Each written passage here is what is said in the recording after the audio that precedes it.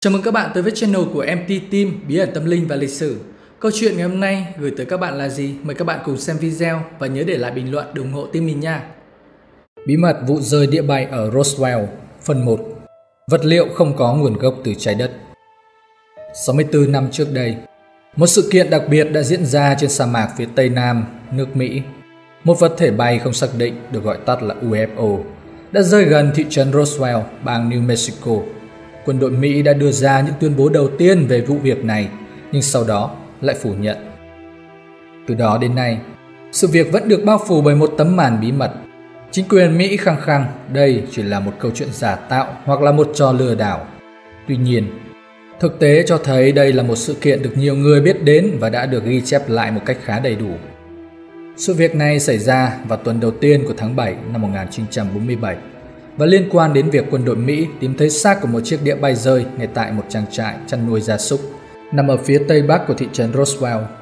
Những nhân chứng từng là quân nhân từng tận mắt chứng kiến vụ việc, bao gồm cả hai chuẩn tướng, khẳng định rằng vật liệu mà họ thu hồi được không phải có nguồn gốc từ trái đất. Ngày 12 tháng 1 năm 1944, nghị sĩ Stephen Chip, đại diện thành phố Blue Quaker, bang New Mexico, phát biểu với báo chí rằng ông ta đã bị Bộ Quốc phòng cản trở khi thay mặt các cử tri và các nhân chứng đề nghị được công khai những thông tin liên quan đến sự kiện diễn ra năm 1947 ở Roswell. Với lý do muốn được tìm hiểu sâu hơn về vấn đề này, nghị sĩ Strip đã gọi sự im lặng của Bộ Quốc phòng là đáng ngạc nhiên. Ông kết luận rằng vụ việc này đã bị chính phủ giấu nhẹm đi. Rất nhiều người đã không biết rằng có một vụ việc kỳ lạ như vậy đã từng xảy ra ở Roswell vào năm 1947. Tới đây, bí mật này của Roswell sẽ được nhiều người dân biết đến nhiều hơn. Liên quan đến vụ việc này, có một cuốn sách sắp được xuất bản, một bộ phim truyền hình sắp được công chiếu và một bộ phim tài liệu sắp được hoàn thành. Do đó, những nghi ngờ, tranh cãi và tất cả sự bất tín nhiệm của người dân Mỹ với chính phủ trong vụ này sẽ ngày một gia tăng. Thông tin cụ thể về việc tìm thấy những mảnh vỡ của một đĩa bay rơi ở Roswell và những diễn biến có liên quan được đăng tải rộng khắp trên các phương tiện truyền thông, các thông tin đại chúng lúc bấy giờ. Vài năm trước, các nhà điều tra cũng đã tìm được một bản sao của cuốn Niên giám của lục quân Mỹ ghi chép lại sự kiện đã xảy ra ở Roswell. Dựa vào tài liệu này, họ đã tìm gặp những người chứng kiến tận mắt vụ việc hiện đang sống rải rác ở khắp nước Mỹ. Thông tin trên báo chí đã cho thấy vào giai đoạn cuối tháng 6 và đầu tháng 7 năm 1947, khắp nước Mỹ và Canada xuất hiện nhiều thông tin về UFO.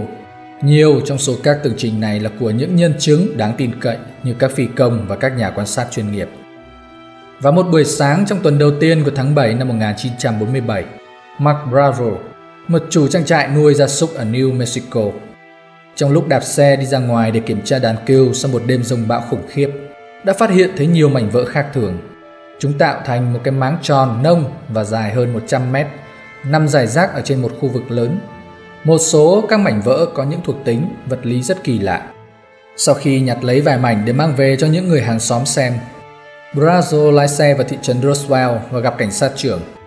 Cảnh sát trưởng sau đó đã thông báo cho các cấp chỉ huy ở phi trường Roswell của lục quân cùng với sự hỗ trợ của các cấp phó. Ông ta đã đến hiện trường để tìm hiểu vấn đề.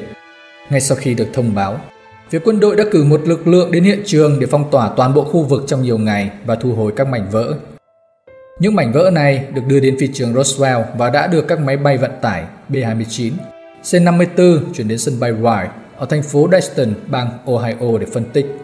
Phi trường Roswell là căn cứ đóng quân của phi đội máy bay ném bom 509. Đây là một phi đội tinh nhuệ, phi đội nguyên tử duy nhất trên thế giới. Sáng ngày 8 tháng 7 năm 1947, Đại tá William Brancher, chỉ huy trường phi đội 509 đã đưa ra một thông cáo về báo chí khẳng định rằng những mảnh vụn của một vật thể bay không xác định, gọi tắt là UFO, bị rơi đã được thu hồi. Thông cáo này lập tức được truyền qua điện thoại để kịp thời xuất hiện trên trang nhất của hơn 30 tờ báo, phát hành ngay vào buổi chiều hôm đó. Nhưng chỉ vài giờ đồng hồ sau, một thông cáo về báo chí thứ hai lại được phát ra từ văn phòng của đại tướng Roger Drummy tư lệnh đơn vị không quân số 8 ở phi trường Fort Worth ở bang Texas, cách nơi xảy ra vụ rơi địa bay hơn 700 km. Thông cáo này phủ nhận lại thông cáo ban đầu và khẳng định rằng Đại tá Brightrud cùng với các sĩ quan trong phi đội ném bom số 509 ở Roswell đã phạm phải một sai lầm ngớ ngẩn khi nhầm tưởng những mảnh vỡ của một khinh khí cầu quan sát thời tiết và thiết bị phản hồi sóng radar của khinh khí cầu này là mảnh vỡ của một đĩa bay bị rơi. Có vẻ như chính phủ Mỹ đã muốn đánh lạc hướng dư luận và che giấu những gì đã xảy ra ở thị trấn nhỏ bé Roswell. Phần 2. Các nhân chứng tiết lộ Thực tế cho thấy có những bằng chứng của nhiều quân nhân và dân thường, những người trực tiếp liên quan đến sự kiện này khẳng định rằng thông cáo với báo chí về vụ rơi địa bay mà đại tá William Richards của phi đội ném bom số 509 ở Roswell đưa ra là đúng sự thật. Còn thông cáo thứ hai về vụ rơi khinh khí cầu quan sát thời tiết chỉ là một câu chuyện giả tạo mà chính quyền Mỹ vội vàng đưa ra để che giấu sự thật. Những ai đã từng biết và làm việc với Branches để nhận xét rằng ông là một người kiên định, nghiêm túc, thực tế chứ không phải loại người tự đem mình và lực lượng không quân ra để làm trò hề. Nói một cách khác, nếu Branches đã đưa ra một thông cáo báo chí tuyên bố là có một địa bay rơi thì thực tế là đúng như vậy. Đại tá Brancher sau này còn tiếp tục thăng tiến và được phong làm đại tướng, phó tư lệnh không quân Mỹ. Nhân chứng đầu tiên mà các nhà điều tra tìm đến rất sẵn lòng làm chứng và cho phép sử dụng tên thật là Trung tá McCall, sĩ quan tình báo thuộc phi đội ném bom số 509 ở Roswell. Ông là một người có năng lực và là một trong hai sĩ quan quân đội đầu tiên có mặt tại hiện trường vụ rơi địa bày. Trong một buổi phỏng vấn được ghi hình vào năm 1979, McCall tiết lộ, đó không phải là một khinh khí cầu quan sát thời tiết, cũng không phải là một chiếc máy bay hay một quả tên lửa. Loại vật liệu được tìm thấy tại hiện trường có một đặc tính kỳ quặc. Nó không cháy, nhẹ bẫng, rất mỏng, không dài hơn lớp thiếc bọc phía trong các bao thuốc lá. Tôi đã cố gắng bẻ cong một mảnh nhưng không được. Chúng tôi thậm chí đã thử dùng búa đập nhưng nó cũng không bị lõm. Những mảnh vỡ này, theo lời kể của ông, không phải được làm ra từ một loại vật liệu có nguồn gốc từ trái đất của chúng ta. Trên đường trở về căn cứ, ông còn dừng lại nhà của mình và chỉ cho vợ và đứa con trai 11 tuổi xem những mảnh vỡ khác thường này. Một đoạn nhỏ dầm chữ Y, có những hình tượng kỳ lạ giống như các biểu tượng trên bề mặt của nó. Con trai của ông Macro còn, giờ đây đang hành nghề y và cũng là một phi công lái máy bay trực thăng giỏi của lực lượng phòng vệ quốc gia. Vẫn còn nhớ rất rõ sự kiện đó.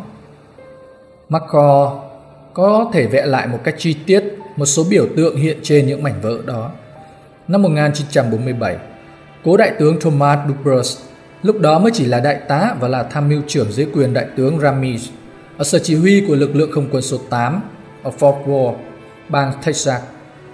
Trước lúc mất vào năm 1992, Đại tướng Dubras có nói rằng chính ông là người đã nhận điện thoại của Đại tướng MC Mullen gọi đến từ sân bay Andrew ở thủ đô Washington. Vị chỉ huy này đã ra lệnh cho ông bịt các thông tin liên quan đến sự kiện này bằng cách tạo ra một câu chuyện khác để đánh lạc hướng với báo chí và dư luận.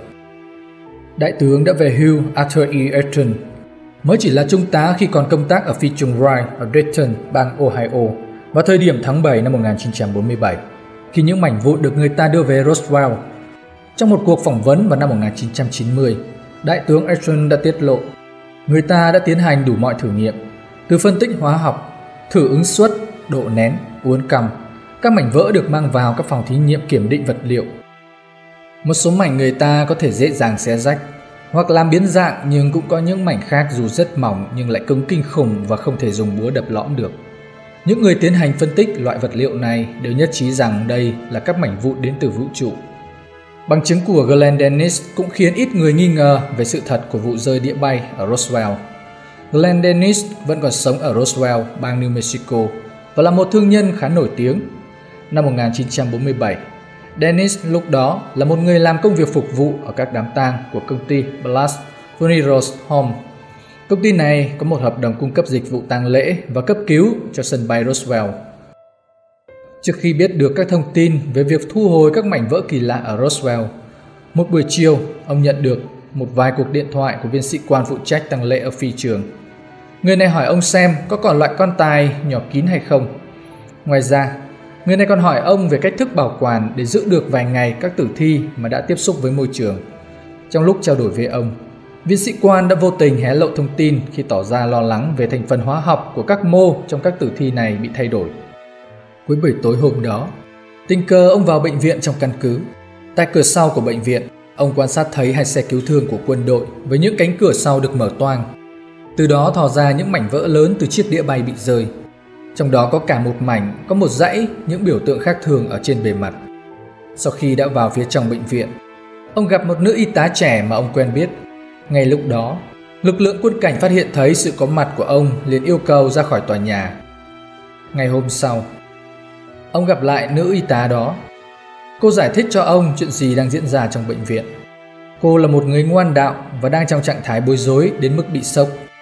Cô kể lại rằng họ đã gọi cô đến để hỗ trợ cho hai bác sĩ tiến hành công việc khám nghiệm tử thi của một vài thi thể nhỏ bé không phải của con người. Cô nhắc đến thứ mùi kinh khủng.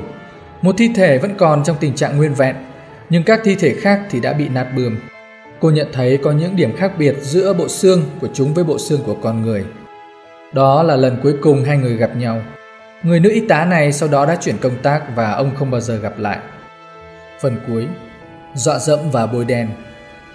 Các nhà nghiên cứu mới đây đã tiết lộ, phần chính của chiếc đĩa bay đã rơi xuống vị trí cách trại chăn nuôi gia súc Braro một đoạn. Theo lời kể của các nhân chứng, đây cũng là nơi các thi thể của người ngoài trái đất được tìm thấy. Hầu hết các nhân chứng có mặt ở địa điểm thứ hai này đều không đồng ý tiết lộ danh tính bởi sợ bị chính phủ xử lý.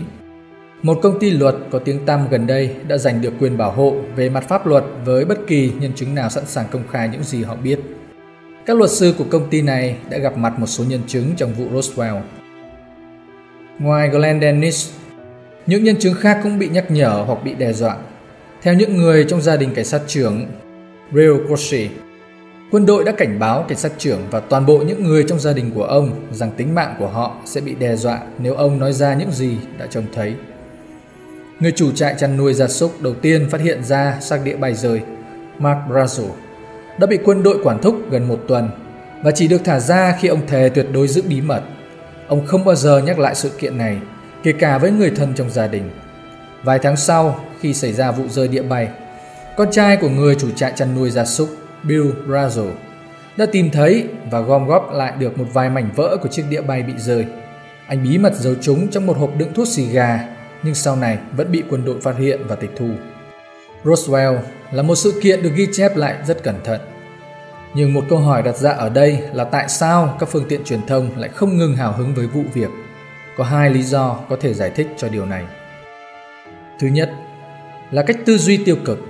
Về mặt bản chất, con người có một xu hướng chống lại bất kỳ hiện tượng nào thách thức những nhận thức trước đây mà họ biết và họ hiểu về thế giới thực tại. Trong hầu hết mọi trường hợp, một kiểu thái độ như vậy được thỏa mãn chúng ta và được gọi là thái độ hoài nghi. Trong những trường hợp khác, nó có thể khiến cho những người có hiểu biết không muốn xem xét các bằng chứng nhất là khi những chứng cứ đó dường như thách thức sự hiểu biết của con người. Nguyên nhân thứ hai và gây tác hại lớn nhất chính là thái độ giễu cợt. Từ lâu, UFO đã được người ta gắn với những câu chuyện kỳ lạ.